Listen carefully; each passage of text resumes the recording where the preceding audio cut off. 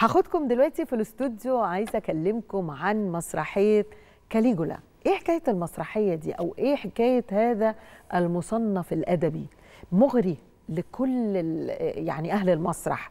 مصنف أدبي لألبير كامو والحقيقة كتبه وهو عمر 25 سنة. في العالم كله اتعملت المسرحية دي بكل اللغات. بكل اللهجات مغرية لل مغرية للممثل لما فيها من تضاد شخصية شريرة شخصية قاسية شخصية فيها من ال... من القسوة والشر والعنجهية والغرور وحاجات كتير جدا لكن كل جيل بيعمله بشكل كل بلد تعمله بشكل كل زمن يقدمه بشكل. إحنا بنلتقي دلوقتي مع المسرحية من إنتاج مسرح الشباب.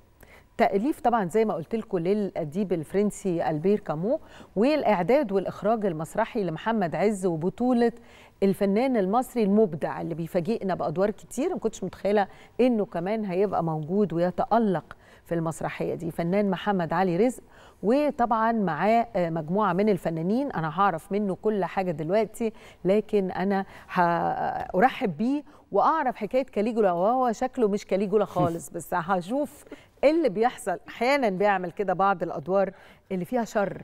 بس الشر بقى هيطلع إزاي في المسرح؟ خصوصا إن المسرحية دي اللي اتعملت في التسعينات اوائل التسعينات بنجم كبير أستاذ نور الشريف. كيف ستعود؟ ده اللي هعرفه مع الفنان محمد علي رزق. مساء الفل. مساء الخير. لا أنت ما تجيش طيب كده. ما تعمليش طيب، فيها أنا- طيب. كاليجولا ده محمد. مش طيب خالص أنا هنا محمد مش أنا كريم محمد والله ليه دايما الشخصيات الطيبة بتميل للشخصيات دي طلع مخزون تاني آه يعني دايما ال ال الواحد بيحاول يعمل في التمثيل اللي ما بيقدرش يعمله في الحياة مم. أو اللي ضميره ما يسمحلوش إنه ممكن يعمله أيوة. في الحياة أيوة. فبيطلعه بطاقته في التمثيل يعني أنا ما كنت زمان بصدق الكلام ده لغاية مثلا أدركت إن واحد زي ال- الكبير العظيم أستاذ محمود المليجي رحمة الله عليه مثلا اكتشفت من حكاوي الناس عنه إن هو من أطيب الناس اللي كان ممكن حد يقابلهم في. حياته. صحيح. فلا اتأكدت من المعلومة دي. فاحنا فعلا ممكن اللي ما بعرفش أعمله في الحياة أطلعه في دور. التقمص والشخصية تروح لدول للدور.